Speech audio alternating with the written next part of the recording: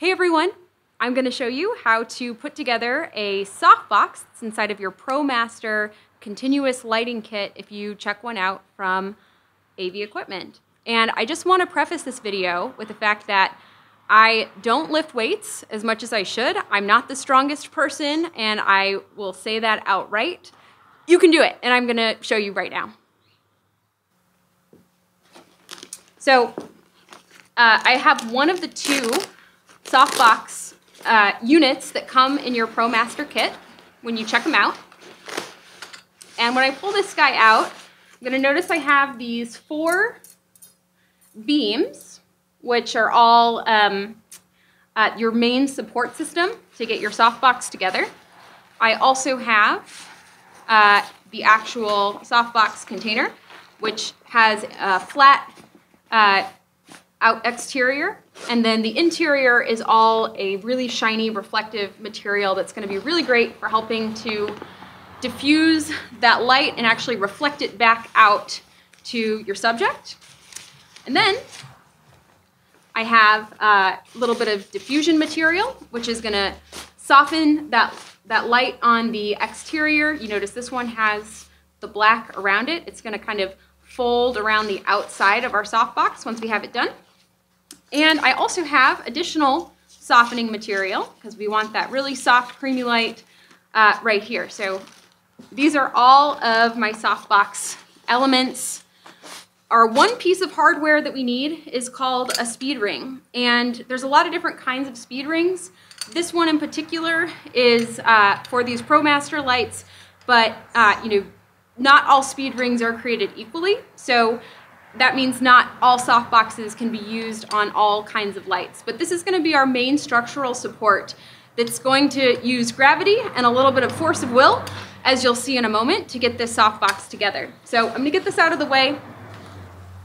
And uh, one thing I want to stress, uh, as I mentioned, the idea of sort of um, getting things through with a little bit of force, is uh, what you definitely want is to make sure you have a lot of space around you while you're doing this. And um, to make things a little easier, I'm just going to ever so slightly undo some of this material right here. Um, the other thing that I'm going to want to do is uh, put this with the, uh, the part that sort of juts out with our mounts to the ground. So I'm looking at the red dots that are coming up on the surface there. So what I'm going to do is find these little pockets inside of the softbox in each of the corners and kind of slowly string that through. And then it's also, as you can see, gonna plug into the speed ring. Now the first one is always the easiest, and as you go, they get a little bit more complicated, a little bit trickier. But I'm gonna start with a couple that are diagonal from each other so I can really open this up and give my myself a little bit of space to work once I start getting to the more intense one. Again, I'm gonna use a little bit of force to weave my metal post into my speed ring. As I mentioned, they're going to get more and more difficult, but we got this. When you are really dedicated to a shoot, you make it happen. So I've got three. I have one more.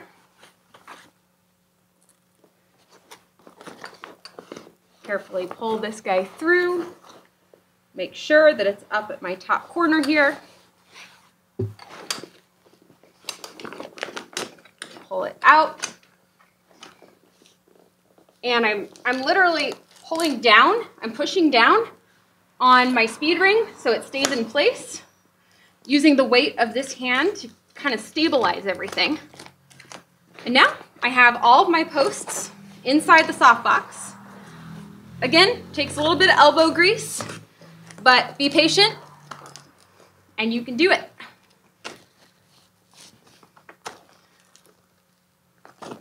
So now that I have the main structure set up, hard part's over, and I'm gonna construct my layers of diffusion inside of the softbox.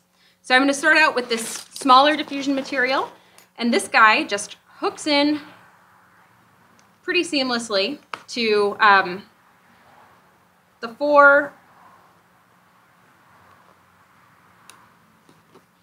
little clasps around the outside of the softbox.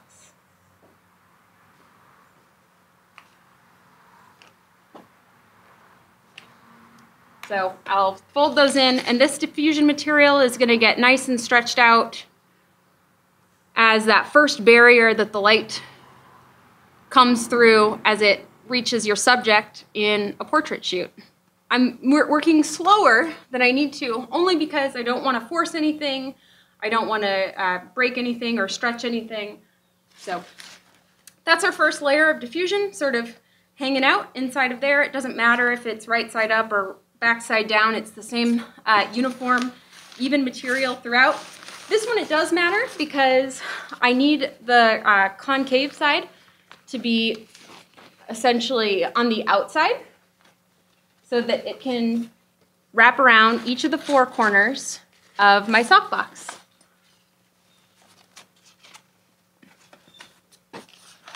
And what's great about this is that there is Velcro material around the outside, so I have that extra layer of stability holding this guy together, so it's not just going to come off randomly in the middle of my shoot.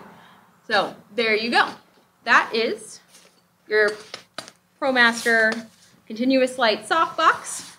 And here we have our speed ring facing out, just how we positioned it, ready to go so it can latch into the light when we're ready to set up.